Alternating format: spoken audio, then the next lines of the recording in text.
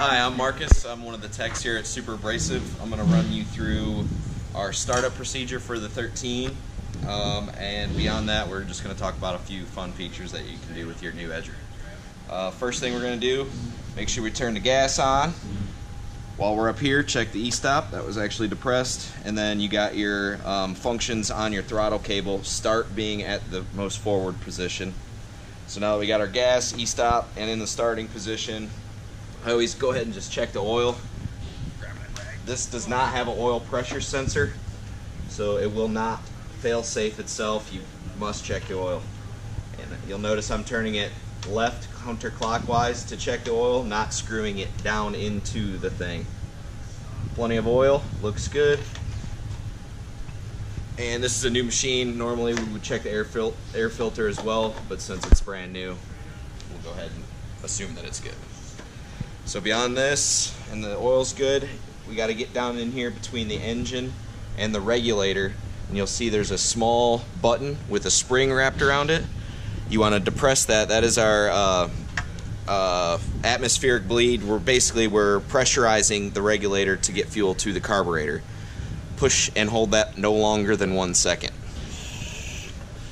Now we're all good. Everything's in the starting position. Shouldn't take much.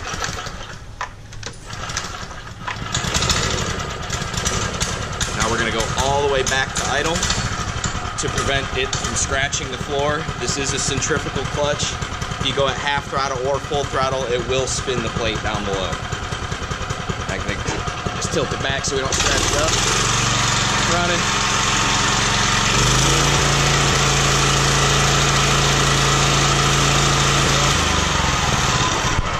Bring it down to idle, wait for the plate to stop spinning.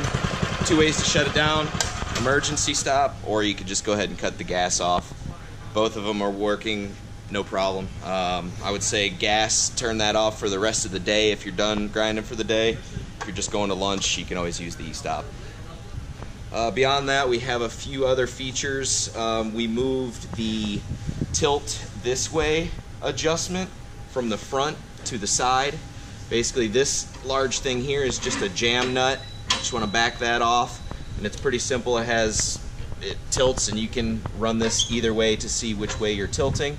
Um, that'll be a benefit when you are grinding up against a wall, which is adjusted by this one.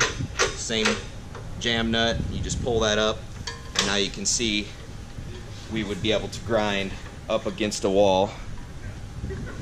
Having removed all this stuff, you can grind flush up against the wall, no problem, and it still travels straight you're doing the opposite side, it's just the opposite.